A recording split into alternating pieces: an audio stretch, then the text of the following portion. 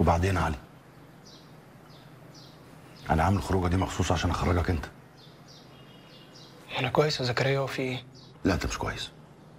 وعارف إن الموضوع مش سهل. خصوصا إن موت عمر جاي بعد موت شوشة بفترة قليلة. أنا حاسس بيك جدا. ما تنساش أنا كمان فقدت ناس قد كده من زمايلي وأصحابي. حرب. وأي حرب ليها خسائر علي. بس اللي بيهون علينا إنهم ماتوا رجالة. الحاجة الوحيدة اللي في إيدينا يا ابني إن إحنا ندعي لهم. نقول ربنا يجمعنا معاهم على ألف خير. ولو ربنا سبحانه وتعالى نولنا الشهادة نقولها وإحنا سيرتنا زيهم. عندك حق. أنا ما بقولكش انسى. ازعل على أصحابك. بس لازم تقف على رجليك بسرعة. على الأقل عشان تعرف تجيب حقهم يا أخي.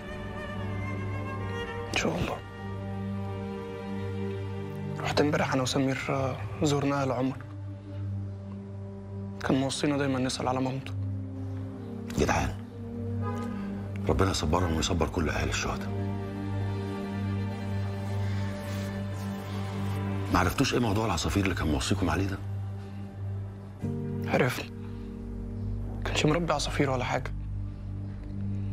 بعد ما استشهد رحت قلبت الدنيا على العصافير دي. ما لقيتش حاجة. بس دار ايتام كلمت مامته وسألوا عليه. لما عرفوا إن هو استشهد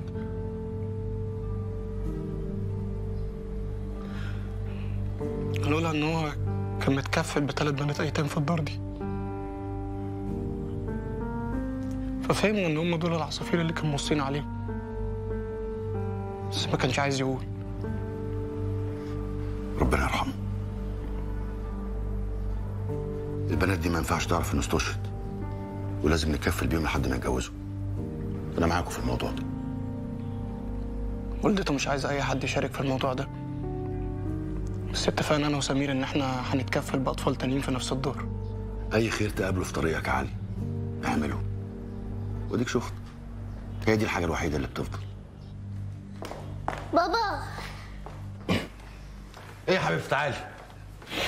عملت إيه في موضوع التذاكر؟ نسيت. معلش. إزاي يعني؟ انت لسه قايلة لي أول امبارح. بس وعد مني هحجز لك الماتش اللي جاي. انت عايزه تذاكر إيه؟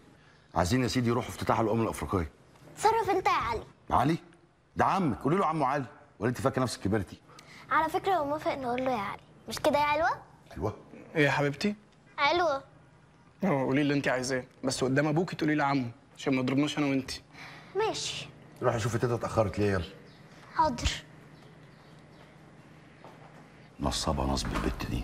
بتنصب على أمك فلوس رصيد وكل مرة بطريقة شكل. بهراني. ما هو كان لازم حد يكمل مسيرة الفلوس اللي كنت باخدها من أمك صح. زكريا عارف لو نزلنا وجالك تليفون شغل وسبتنا ومشيت أنا هعمل فيك إيه؟ والله العظيم ما هخرج معاك تاني. ما إحنا خرجنا المرة اللي فاتت يا ناديه ما حصلش حاجة. أنا أروح أشوف أمك ها؟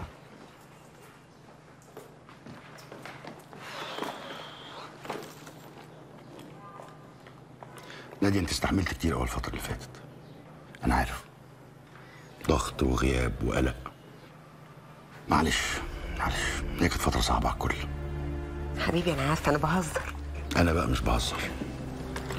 أنا حاسس إن ده الوقت المناسب اللي أقول لك فيه شكرا. لولا استحمالك ليا وإني مطمن إنك مراعي بناتي وبيتي أنا ما كنتش هعرف أشتغل السنين اللي فاتت دي. أنت كنت جندي مجهول في الحرب دي يا نادي. أنا لو عليا اديك رتبة. لا ده لو على قد الفترة اللي فاتت أنا مش هقبل بأقل من لواء أنا بقول لك أهو. حبيبي أنا مش عايزة شكر. كل اللي أنا عايزاه إني اطمن عليك بعدين كفاية عندي إن أنت عارف ومقدر. بس لو عايز تشكرني بجد بقى تخلي بالك من نفسك.